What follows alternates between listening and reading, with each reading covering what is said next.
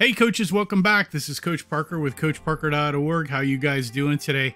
Hey, today I've got a video podcast on coaching versus talent and what wins. I, I was looking back through my blog posts and came back over an article, I don't know, from 2013 maybe, where somebody said something. So I thought uh, I would address this on my current take on it. And uh, so, yeah, so let's jump right into coaching versus uh, talent and where we think we're at. If you get a chance, please subscribe to the channel. That would be awesome. Uh, so let's see. Let's see. Coaching versus talent. This is definitely an old argument. It's like the chicken or the egg, which came first. Um, potato, tomato kind of thing. Uh, it, it's really, you know, a pretty good argument and, and one to debate. It's fun to think about. I know this really came from a Cisar quote that I saw, I think over at Dumb Coach Forum, that uh, he was telling some coach, don't waste too much time on recruiting. You don't know what you don't know about coaching youth football. Coaching is really how to win in youth football. And so I thought about that. I really don't agree with that too much, uh, especially because I'm here in Texas. So, you know, other states that may not be football centric, uh, maybe that that works. Uh, but I, I do follow uh, Bear Bryant here and read his couple of his books. And he talks about you must have the the hosses, which are the studs that you know no matter what you do everything equal you really got to have talent to compete. And i'm i kind of lean toward that but we're to talk about more because my answer is a little bit more involved. What do you guys think? Would love to know. Leave me some comments. Shoot me an email. You know is your answer coaching or is it talent? What do you think? It's kind of both maybe. I don't know. I know so many times when i coach youth football I really want it just to be me and my coaching, my ego. You know, I was, I really got this team going. These players, this, this was my coaching. Coach Witt and I's coaching. This was us. We, we really did it. But, you know, I don't, you know, I don't know. I take a look back at it. I've coached, you know, 30 plus tackle seasons and look back. And was it me or did we have some really good players? Did we develop those players? So kind of look at that. Uh, I know that I know that I've been really good uh, at uh, evaluating talent. Even when I started in '94, I'd never coached youth football before. I'd coached adult flag and flag and intramurals at Texas A&M and had several pretty good teams there, but never coached youth football. And of course, I played for 10 years uh, through Pee Wee in high school. But uh, I don't know. I have a knack for evaluating and drafting and figuring out players and where they go on teams. So I know that I'm really good at identifying that and how that works. Um, I do know when we've won Super Bowls and like championship playoff games to get into Super Bowls, we did have studs, uh, especially at tailback. We had speed. Uh, we had we were, went undefeated one season uh, we lost our, our speed tailback the third game. We were still able to go undefeated through the season, but when we got to the Super Bowl, you know, we had lost that speed. We were basically running like four fullbacks, um, and we lost that Super Bowl, I think, by 10 points. And that's where it caught up to us. So to, to win, you know, if you're trying to win these bigger games, because you can be competitive without, you know, with average talent if you're a good coach but trying to win big games, that's really, I think, talent's going to happen. I think the other thing uh, with coaches uh, versus talent is some folks forget this teamwork, the esprit de corps. We've lost a big game several years ago to a team that had been together. We had just kind of put a new team together.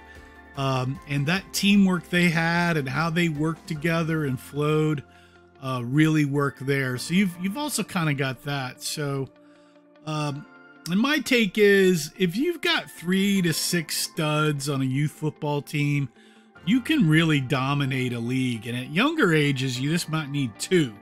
maybe one if they're really good, like top tier, because speed in youth football kills. Usually the fastest team will win in youth football because they can sweep. So that's how that goes, especially if your running back, tailback, quarterback is really good. And then if you've got all these other positions here wide receiver, fullback, linebackers, DNs, and some big offense, defense tackles if you've got that worked out and they're studly and stacked, uh, you can be an average coach. Uh, you don't really have to do too much. That talent is going to get you there. And I think, really, I think you see in the NFL, you know, if you've got Tom Brady and Gronkowski and a good running back and everything else is kind of equal, they, they can kind of take over the game. So that so you kind of see where I'm leaning, but let's get, get more into it. So how much does coaching matter? Well, I think coaching is really critical on building your team and putting it together, uh, teaching the players, you know, fundamental skills, position techniques, you know, all those little fancy things you've got there. I think the key thing is knowing how to put players in the right positions. Uh, your practice planning, you know, working on your weaknesses and your scouting plan versus you know, some of the weaker coaches are just, you know, they're just focused on the backs and don't even look at what they really should be working on. I mean, I think a lot of coaches need to, you know, balance their roster to their schemes, their offensive schemes. I've got running schemes here, but I mean offensive schemes. They also need to, you know, play calling is a big deal. I'm not a great offensive play caller, pretty good uh, on defense. So, you know, can you do that and you have experience do that, that really comes into play. And in game adjustments, I'm better at scouting, and I like to have coaches that also are very good at in game adjustments. So I look for that in other coaches. Um, so that's a big deal being able to adjust in game, and more experienced coaches can do that. Now, don't get me wrong, I know how to do it, but uh, there are some gifted coaches that can see things that are really good. I can do that in scouting, but um, that's a really big deal. A lot of rookie coaches will forget special teams, and so great coaches will take advantage of that. Uh, and look, I'll just be honest, some coaches are very gifted with teaching and working and you know players responding and motivating so you know you've got that too and so that's uh, that's a big deal. Uh, the other thing is, is though, even though you're a great coach or above average coach, if you decide to like make some goofy decisions uh, in game, or maybe you're changing up a whole lot because you think, you know, you got to do this, you you can lose some big games. So coaching does matter. I mean, I've played against a couple of really pretty good coaches, I would say are above average, and uh, they lost the Super Bowl because he changed his backfields, his core offense, and decided to kick field goals and really left a lot of points on the table, a lot of yards on the table. Uh, and we were quite surprised. One of my best wins ever. Uh, I think I really had my best coaching moment at that time. So, uh, you know, you got to be careful uh, with goofy decisions. So how much does talent take? You know, what does it matter? Uh, man, you know, at the end of the day, even in a rec league, or even a select travel ball, you've got to have talent to compete consistently if you want to get to the big games. You know, if you're just trying to have fun and be competitive and you don't care about your winning record, which I know a lot of parents here in Texas do, because if you're not winning, they're not happy. So, we lean more on making sure we can win too, then you better have that talent. Uh, and really, you got to have the top talent to win Super Bowls. I mean, that's just the way it is. I think at any level, right? Uh, and yes, you can be competitive at lower levels, but if I can have great talent and recruit or, or draft better, I'm going to do that. I mean, I'm not just going to say, oh, give me the team, because that's happened before we got to the playoffs, but we were a 500 team and we were competitive. But the next year, we almost got into the Super Bowl and lost in the you know the last second uh, on our DN crashed, or otherwise we'd have been in that Super Bowl. That happened to us two seasons. So, you know, yeah, you can coach a, a team that's given to you, uh, or, you know, don't really worry about talent. But man, I know I, if I have the opportunity, want to draft an eval right and get get players. You know, the other thing that talent, if you've got players with constant injuries, that's going to hurt your team. Look, if you have too many timid players in youth football and you've got MPP rules, that becomes an issue because you're only as strong as your weakest link. Uh, if you've got a ton more weak players than strong players and you've got to get them in, and your team is maybe over 25 players, that's going to be difficult to compete against a team that doesn't have that many players and doesn't have that many first year weak timid players, whatever you want to call them there. So just understand that talent does matter.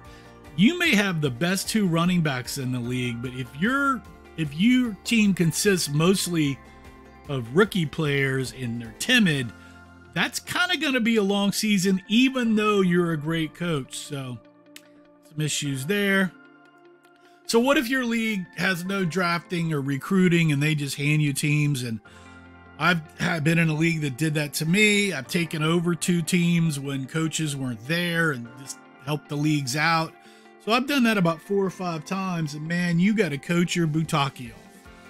I will say that, and you better get hope you got lucky with some of your players, uh, because you know that's really when coaching takes over. If you're unable to draft and pick your kids from like a league pool, or you can't really go out and recruit your recruit your own team, so you really got to overcoach. You got to know your stuff. You got to choose your schemes to match your roster. You got to be able to put those players in the right positions I, I say don't be some unicorn and go out and try something that's totally goofy, that's not proven in youth football. You know, you know, don't be trying at five years old or six years old. Don't be trying to run the triple option, uh, even though you think you can. I mean, you know, sure, there's the 1.0% chance that you're good at that, but why take that risk? Do something that other people are doing kind of fit that in if you want at the end, but man, don't be the unicorn.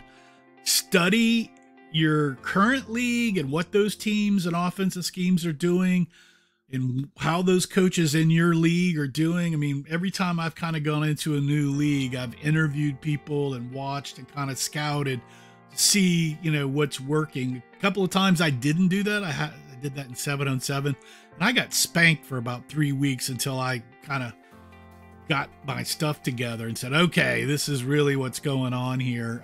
Because uh, I walked in thinking this is going to be simple. So, right as I say that, set your expectations realistically. If you're a first year coach, shoot for a 500 season. If you're a first year coach within that league and that league's pretty tough, don't set your expectations too high. Learn your league and age division. So, if you're in a league that's no drafting or recruiting, man, coach your butt off, study the league, study youth football, know what you're doing, and overcoach. And that's when, you know, if you if everybody's kind of got equal talent, then coaches, you know, coaching does matter at that point. So let's talk about talent. You know what what what really makes great talent? Man, speed. Uh, you know that's critical. Faster, quicker, size, bigger, stronger, age, older, maturity, more muscles. Maybe they're hitting puberty. Experience matters, ball carrier, receiving, blocking, tackling, center, QB, all those huge football IQ. If they've played a long time or at least they have a high football IQ, you can install quickly and learn schemes. Is the play co- coachable? You know, are they going to go along? And are their parents not going to fight you every time you try to install something new? Uh, has that team been together or are they rookie team? You know, all that kind of comes into talent. And lastly, and this is really where you know talent kind of takes over sometimes is uh, for many of you that played sports know that there's you know players where god or whoever or whatever you want to call it has touched them and gifted them with some talent and some skill set. Those top tier one players especially in their bar- ball carriers running backs receivers quarterbacks in youth football and you may have one or two of those on your team talent takes over. Because uh, at younger ages, especially I'd say below 10U, two players with really high speed are going to sweep on you all day long, and uh, that will be tough. That's my opinion. So let's talk about coaching. Uh, coaching here, uh, you know, does your does the HC OCDC assistant assistant coach have experience? You know, are they football knowledgeable? Do they have experience of a of a player? Uh, you know, do they understand and and have experience with youth football and have that experience? How long have they been within the league? Do they know how to eval talent, set up positions, recruiting, drafting, all that upfront effort? Are they a good communicator and a good motivator? You know, that's what goes into being a good coach and then a little bit of luck that you might get be gifted and know how to talk and teach players. So, you know, those are kind of what you're looking at and that's kind of a big deal. Both of those things can kind of equal out, but we'll talk about kind of a matrix here in a minute. Uh, recruiting and evaluating drafted players. I, I don't agree with Cisar when he says, you know, you don't really need to spend a lot of time to do that. I don't think you need to spend, you know, an inordinate amount of time, but I definitely need to focus on it. Even the best programs in college and the NFL, they want to draft the top talent. So I personally love the evaling and drafting part of our youth football season. I don't like recruiting like select travel teams because I'm not a gift of gab kind of salesy guy. I'm more of an introvert. So our current league doesn't require us to recruit because they recruit and have a big pool, and then we get to we do like a, a, grass drills, punt, pass, and kick day kind of thing where we see them do things and then we evaluate them and then put them in a draft and we get to choose from there. I'm really good at that. I like that. I've learned how to do that. You know, all this pays off in building your team and pays off in the long run and real worth your effort. And my little deal here is I, I give the I used to give the coaches clinics and develop that for our current youth football league. And so I had in there basically how I was going about evaluating and drafting players at our grass drills. Uh, and that's really hurt our team because now a lot of folks know how to do that when they didn't. I did it because I wanted the you know everybody to kind of get more equal teams and really make us all coach. But I probably should have thought about that more uh, because now everybody is kind of using uh, this draft eval sheet that I've kind of taught out there. So, so yeah, it's a big piece because I know it from that that other peoples have learned it, and now you know it's kind of costing us a few games every season because before we were really good. I was really good at it, and we've taught other people to do it. So, highly recommend it. It works. It makes a big deal. Dave Cisar, I think you might be a little wrong about that one because talent, good talent on your team does pay off. Some examples of how top talented teams have kind of dealt with us, or we've dealt with them. Uh, a couple of years ago, our league had some outside leagues come in, and they were just beating everybody. Uh, they were kind of handpicked, didn't have to go through our process, uh, and so we sh- we probably should have been better at that. We we were not letting them do that anymore because we had several issues with that. You can see the two first two points here. We had the last time, and what really killed it is a team came in and they were beating everybody by 30 points, and uh, I think it was like 36 points, and uh, at that point we you know everybody's like okay we we can't have outside teams come into our league that are not running our draft process and how we put teams together because you can game the system if you're outside. And that's what this team did and it was kind of it was brutal but we uh, got through it as a league uh, i just laughed the first game it happened they had no weak players in any of their positions uh, which was quite hilarious um, we have beat a stacked undefeated team that took us out in the regular season because uh, in the Super Bowl he thought he overthought the game and changed so much up, and we beat him. Um, here recently, last year, I helped the sixth grade team that had this crazy top tier God gifted running back who that team went undefeated, uh, but they got beat in the Super Bowl. We installed some B stuff. They managed the clock, and they beat this guy because they focused on making sure they tackled that top tier running back, and they got him. Uh, I think 21 to 6 or something. So you can do that. And they were good coaches versus a top tier that had kind of mediocre coaches. Uh, see this other one, there was a top tier running back. Oh, yeah. So we were in an age division where this team had a top tier running back and three or four other really good running backs. And they were wiping everybody out in the fall. But uh, when they lose him, the main back for spring ball, because we have fo- spring football in Texas uh, at this league, uh, they lose pretty handily. So, you know, that's what's going on there is, you know, they, they, that average group of coaches really relying too much on that one tailback uh, to win games.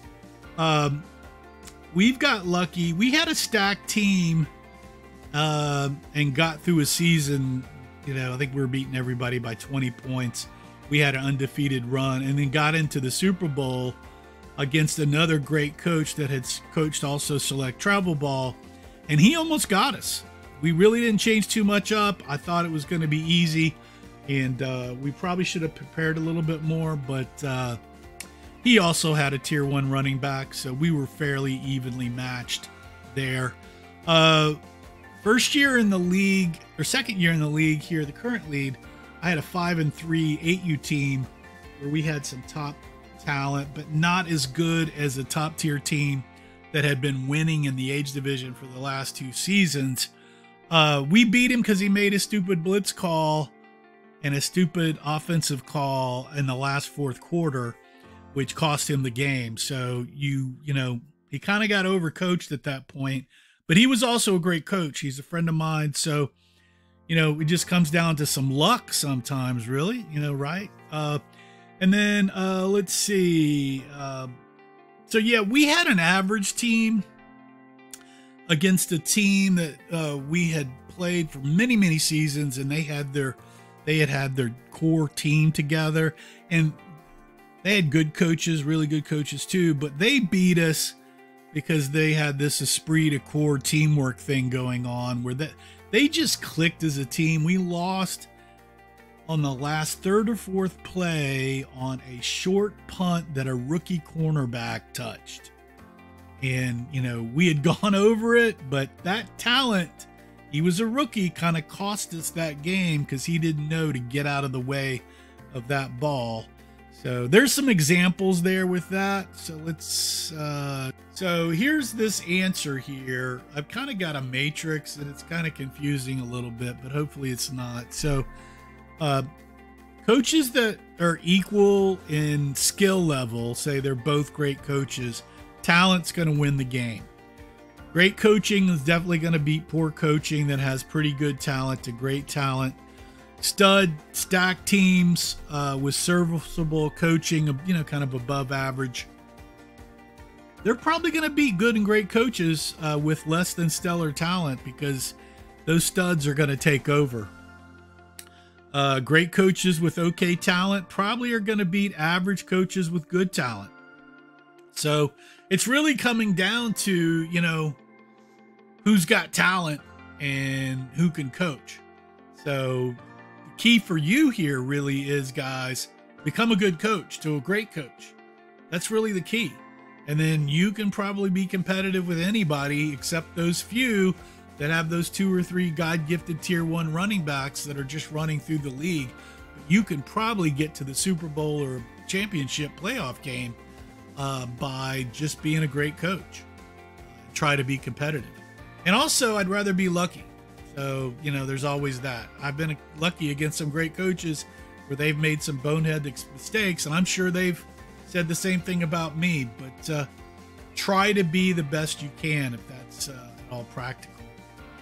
Uh, the reason I kind of went over this is I've had had a couple of emails lately about folks running some of my schemes and they're getting beat by larger and stronger teams. Uh, and they you know they have a timid team that's kind of rookie that just got put together uh, really as a coach, you you kind of need to understand where your talent level is on the team and set your expectations for the season compared to what you see in the league. I mean, it's really easy for me when those two other teams came in, and even some teams that get lucky in the draft in our league. Um, you can see pretty quickly that they've got a lot more talent and speed and experience than you do and you know you're gonna do everything you can to beat them but uh, probability you need to set your expectation is where you're going to make it into the playoffs and hopefully you don't match up to them on that that game to get get further through so really try to start setting your expectations you want to be the best coach that you can and give everybody that 110%. You know, you want to study and research and and really don't blame your team talent. so I know in junior high we were the we were a new school. We just got put together. We were going against some old 40 year old middle schools that have been together and bigger neighborhoods and we were getting rocked a lot of games and the coaches kind of took that out on us and I had played on an undefeated team for many years in Pee Wee that was travel select. And I didn't understand that because I could see for myself we did not have core running back group or quarterback that could do a lot of this stuff that they think we could do. So I think as a coach, you, you kind of have to recognize the league you're in and what the scope of that competition is going to be compared to where you're at. And there's no reason to beat up your talent uh, if they just can't compete. I mean, you want to be a better coach, coach them up, but no reason to take it out on them uh, do that because you know smaller rookie teams against teams that have been together for a while are probably going to get beat up in a scrimmage until because I've noticed that it takes three to four games for a rookie really to get their feet wet. And I think even in the NFL they talk about takes you some games before you kind of get into it. So that's that. I mean, the other thing for his co- for coach, uh, you got to know, you know, on this is what's best for your offense and defense team. Uh, you, you know, a lot of defense or offense you run scheme wise, if your talent pool isn't there, just by changing that up, it's really not going to solve the problem of lack of talent and poor coaching.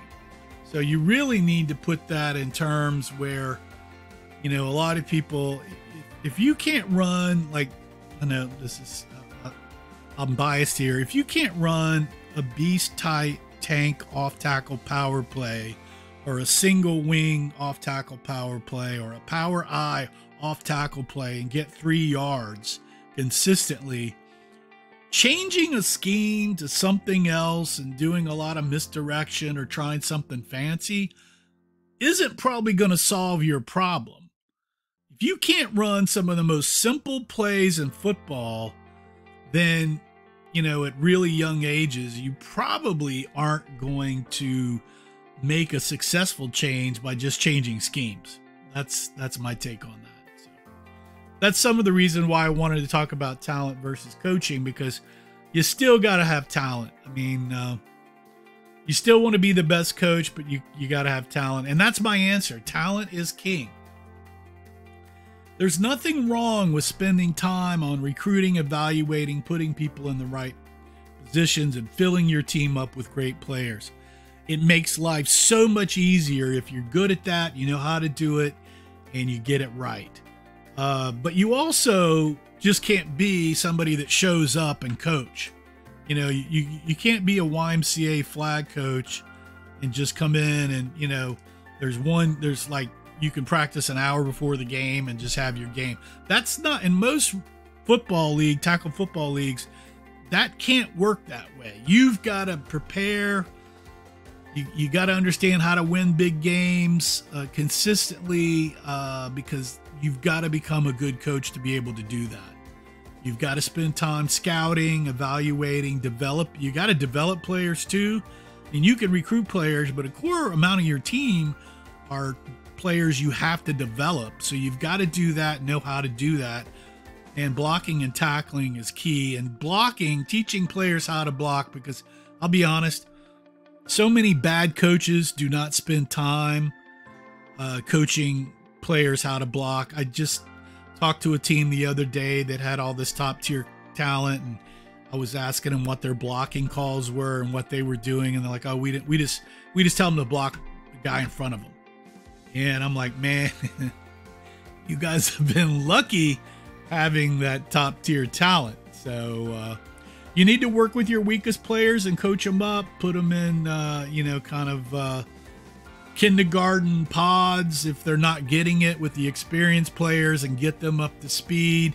Give them some game time if you get a chance because you're only as good as your weakest link.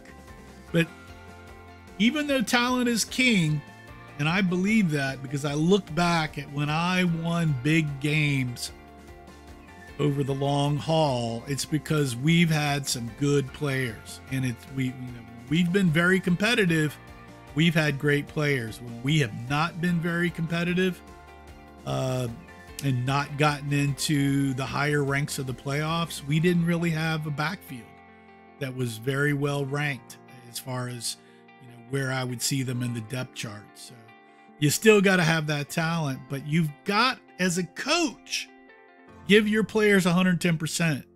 I've had so many videos on this. You you You've got to go the extra mile for your players like you asked them. You've got to learn, you've got to study, you've got to research, you've got to have commitment, you've got to put in the time. You man, you've got to become a good youth football coach. And when you don't have that top tier tailback you tried to recruit or you got a team that was just handed to you, you can still be very competitive within a league and beat those other coaches that are not putting in that coaching effort that may have equal talent as you. And those are the games you want to win and you must win because those top tier games, you just need a little luck. You just need a little bit of coaching skill and you may get lucky or a little special teams mistake and you may get into that playoff game and get there. So, talent is king because I always want the best talent, makes my life so much easier. But I am not going to give up on becoming the best coach I can. And that's what you should do. So that's my take. Hope you enjoyed the video. If you get a chance, please head over to Coach Parker and look at my uh, playbook ebook section. I've got a ton of stuff out there uh, on all the top U football formations, the beast, the 6 2 defense, and all that good stuff, drills. You got that. Uh, please like, subscribe, comment, all of that good stuff. That really helps me out with Google. Uh, yeah, take a look at that. Uh, and please, if you get a chance, I know it's it's just leave me a comment uh, down there if you get a chance. That really helps out a ton. Uh, just say, hey, I like the video, or you know, this is what I would do, whatever. But uh, if you get that opportunity, please do it. Uh, again, this is uh, Coach Parker with CoachParker.org and Coaching Youth Football Tips and Talk podcast and all that good stuff. Glad you could join me today. Remember to play for fun and winning is funner. I'll see you guys next time. Hope you have a good week. Ciao.